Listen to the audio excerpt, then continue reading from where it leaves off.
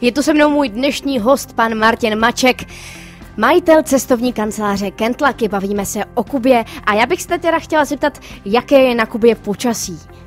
Eh, dobrá otázka. Eh, na Kubě neexistují čtyřiroční období jako u nás, existují pouze dvě roční období.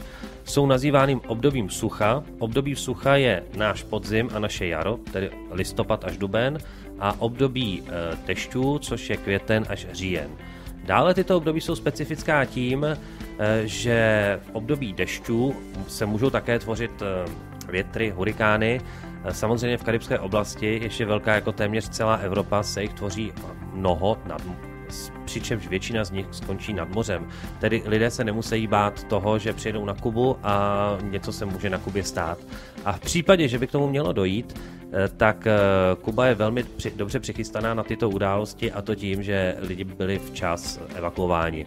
Samozřejmě pro místní by to bylo trošičku horší. Eh, co se týká toho zimního období, tak to, co máme To je teď, vlastně teď, že jo, to je to, to je období vlastně sucha. teď, tak počasí je tam Stále dobré, ale je potřeba podotknout jednu věcičku, která se nikde nepíše.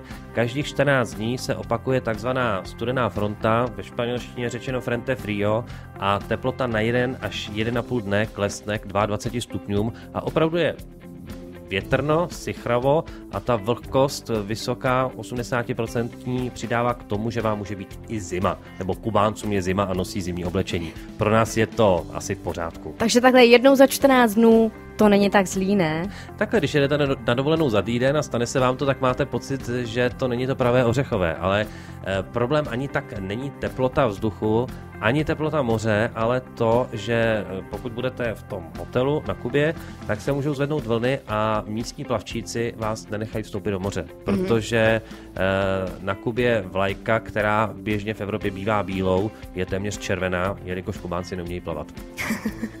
tak to je pěkný, ale teď už nás čeká Lenny Kravic. Fly away, za chvilku se k tématu Kuby vrátíme.